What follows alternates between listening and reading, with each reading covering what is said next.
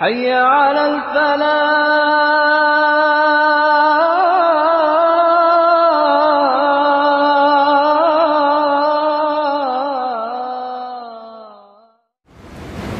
கணியத்திற்குரிய பெரியோர்களே சகோதரர்களே அல்லாஹு தஆலா மனிதனை மறதிக்கும் தவறுக்கும் இடையில் படைத்திருக்கிறார் நாஸ் என்கிற ஒரு பிரயோகத்தை மனிதர்களுக்கு அல்லாஹு தால குரானிலே பயன்படுத்துகிறார். நாஸ் என்று சொன்னால் மறக்கக்கூடியவன் என்ற ஒரு அர்த்தம் அதற்கு இருக்கிறது. அதனால தான் அல்லாஹு தாலா நபி ஸல்லல்லாஹு அலைஹி அவர்களை பார்த்து பல இடங்களிலே ஃபதக்கிர் வதக்கிர் என்று சொல்லுகிறார். நபி இந்த மக்களுக்கு ஞாபகப்படுத்துங்கள். நினைவூட்டுங்கள். என்றால் மறக்கக்கூடியவன் மறந்து விடுவான். நினைவூட்டும் போது அல்லாஹு தாலா குரானில் இரண்டு இடங்களிலே சொல்கிறான் ஃபதக்கிர் அதாவது நபியை நீங்கள் ஞாபகமூட்டுங்கள். நிச்சயமாக ஞாபகமூட்டுதல் என்பது ஃபஇன்ன திக்ரா தன்ஃபஉல் முஃமினீன். ஈமானோடு வாழக்கூடிய முஃமின்களுக்கு விசுவாசிகளுக்கு நிச்சயமாக பயனளிக்கும். அந்த அடிப்படையிலே அன்புள்ள சகோதரர்களே வெள்ளிக்கிழமை என்பது அல்லாஹு தாலா நமக்கு தந்திருக்கிற மிக அற்புதமான ஒரு நாளாகும். நாட்களிலே மிக சிறந்த நாள் வெள்ளிக்கிழமை என்று அல்லாஹுடைய தூதர் சல்லா அலிஸ்லாம் அவர்கள் சொல்லியிருக்கிறார்கள். இந்த வெள்ளிக்கிழமையிலே அல்லாஹுடைய தூதரின் மீது அதிகமாக செலவாத்து சொல்ல சொன்னார்கள். ஏனென்றால் இந்த வெள்ளிக்கிழமையில் தான் மறுமை நாள் உண்டாகும் என்றும் அல்லாஹுடைய தூதர் சல்லா அலிஸ்லாம் அவர்கள் முன்னறிவிப்பு செய்திருக்கிறார்கள். இந்த வெள்ளிக்கிழமைகளிலே முஸ்லீம்களுக்கு ஒரு அற்புதமான கடமை அல்லாஹுடைய தூதர் ஏற்படுத்தியிருக்கிறார்கள். அதுதான் வெள்ளிக்கிழமை தொழுகையாகும். இந்த வெள்ளிக்கிழமை ஜும்ஆ தொழுகைக்கு முன்னால் ஹொத்துபாவை ரசூல் சல்லாஹ் அலைஹி வசல்லம் அவர்கள் வலியுறுத்தி இமாம் மிம்பருக்கு ஏறிவிட்டால் இந்த முஸ்லீம்கள் யாருமே எந்த ஒரு வியாபார நடவடிக்கைகளிலும் ஈடுபடக்கூடாது என்று அல்லாஹு தாலா ஹலாலான வியாபாரங்கள். யா ஐயுஹல்லதீன ஆமனு இதா நூதிய லிஸ்ஸலாத்தி மின் யௌமில் ஜும்ஆ ஃபஸ்ஸவு இலா திக்ரில்லாஹி வதருல் பை ஈமான் கொண்டவர்களே வெள்ளிக்கிழமை தொழுகைக்காக அழைப்பு விடுக்கப்பட்டு விட்டால் அப்போ மிம்பருக்கு இமாம் ஏறியதும் முஅத்தின் அழைப்பு விடுப்பார். அப்படி அழைப்பு விடுக்கப்பட்டால் நீங்கள் உங்களுடைய வியாபார நடவடிக்கைகளை எல்லாம் விட்டுவிட்டு அல்லாஹுவை விக்ரி செய்வதற்காக மஸ்ஜிதை நோக்கி விரையுங்கள் என்று அல்லாஹு தாலா குரானிலே கட்டளையிடுகிறார். ரசூல் சல்லா அலிஸ்லாம் அவர்கள் சொல்கிறார்கள் மஸ்ஜிதுக்கு யார் நேர காலத்தோடு வருகிறாரோ அந்த நேர காலத்தோடு என்பதை சஹாபாக்கள் சலபுகள் எப்படி புரிந்து கொண்டார்கள் என்றால் சிலர் சுபோக தொழுதுட்டு வந்துடுவாங்க.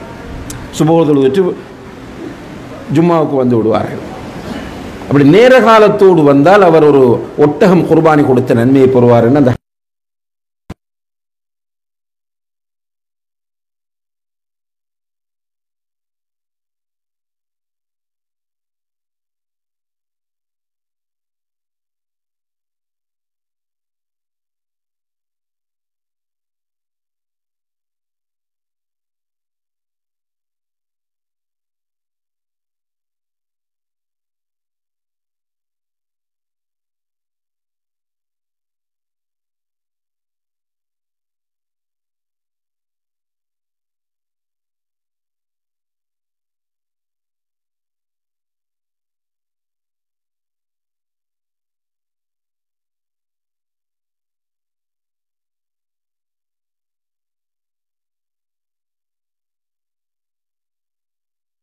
பார்த்தால் ஒரு முப்பது நாற்பது பேர் தான் உட்கார்ந்திருந்தார்கள்.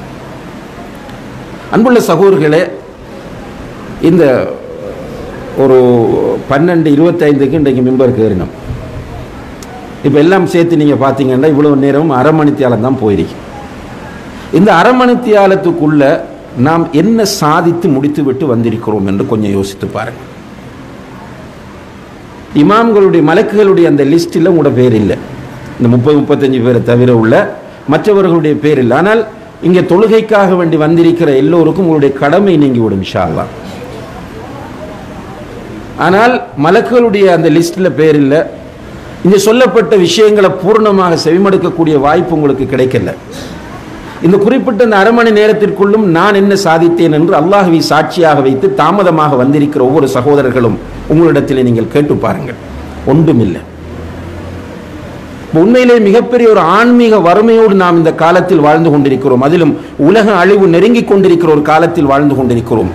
ரசூல் சல்லா அலைஹி அவர்கள் சொன்னார்கள் உலக அழிவு நெருங்குகிற போது மௌத்துல் ஃபுஜா என்று சொல்லக்கூடிய திடீர் மரணங்கள் அதிகரிக்கும் என்று சொன்னார்கள். அப்படியான திடீர் மரணங்கள் அதிகரிக்கிற ஒரு காலத்தில் வாழ்ந்து கொண்டிருக்கும். வெளியே போகக்குள்ள எத்தனை ஜனாசா செய்தியை கேட்கப் போகிறோம் என்பது நமக்கு தெரியாது. காலையிலே எழுந்திருக்கும் போது பள்ளிவாசலிலே அஸ்ஸலாமு அலைக்கும் என்று அவர் ஸ்பீக்கரை ஓன் பண்ணி அறிவிக்கிற போது நம்முடைய மனதில் ஒரு பதட்டம் இன்றைக்கு யார் மௌத்தாயிட்டாரோ உண்டு. அன்புள்ள சகோதரர்கள் அந்த திடீர் மரணத்திற்கு உள்ளாக கூடியவனாக நான் இருந்தால் என்கிற அந்த பயம் அந்த கவலை அந்த அக்கறை எனக்கு வர வேண்டும். உங்கள் ஒவ்வொருவருக்கும் வர வேண்டும். இப்படியே மௌத்தாகி விடுவோமாக இருந்தால் வட்டி சூது விபச்சாரம் மதுபானம் போதை வஸ்துக்கள் பெற்றோரை கொடுமைப்படுத்துவது மற்றவர்களுடைய மனங்களை புண்படுத்துவது மானபங்கப்படுத்துவது தொழுகை இல்லை ஜக்காத் இல்லை நல்ல விஷயங்கள் இல்லை புறம் பேசுவது அவதூறு சொல்வது. இப்படியே இருந்து நாம் மௌத்தானால் எல்லாரும் வருவாங்க அடக்குவாங்க. கொஞ்சம் நிதானமாக யோசியுங்கள். கபரிலே போய் அவர்கள் கபரிலே கொண்டு போய் நம்மை அவர்கள் வைத்து விட்டு வந்த பிறகு நம்முடைய நிலைமை என்ன என்று எத்தனை பேர் யோசித்தோம். அன்புள்ள சகோதரர்களை நாம் எல்லோருமே கபருடைய வாழ்க்கையை ஈமான் கொண்டதனால் தான் இந்த இடத்தில் தாமதமாக சரி வந்திருக்கிறோம். இல்லை என்றால் வீட்டில் இருந்திருப்போம். மறுமை என்ற ஒன்று இருக்கிறது என்ற நம்பிக்கை நம்முடைய உள்ளத்தில் இருப்பதனால் தான் இங்கே வந்திருக்கிறோம். இல்லை என்றால் நிச்சயமாக இந்த பக்கமே வந்திருக்க மாட்டோம். அப்படிப்பட்ட நாம் கபருக்குள்ள போய் முன்கர் நக்கீரை அலிஹிமுசலாம் இரண்டு பேரையும் எப்படி சந்திப்பது?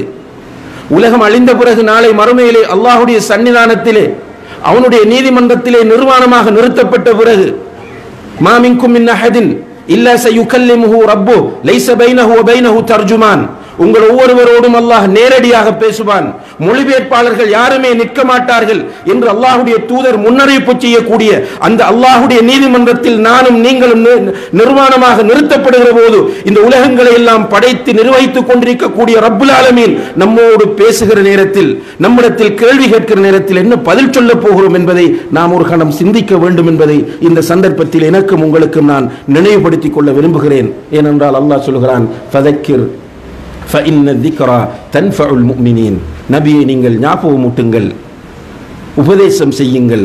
நிச்சயமாக ஞாபகமூட்டுதலும் உபதேசம் செய்வதும் ஈமான் உள்ள மக்களுக்கு பயனளிக்கும் என்று எனவே கொஞ்சம் யோசித்து எதிர்காலங்களில் நம்முடைய இந்த நிலைகளை மாற்றிக்கொள்ள நாம் முயற்சிய வேண்டும்.